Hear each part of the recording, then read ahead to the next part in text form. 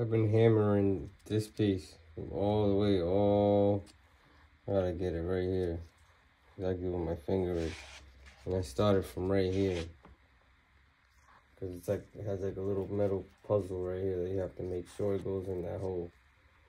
I'm almost done.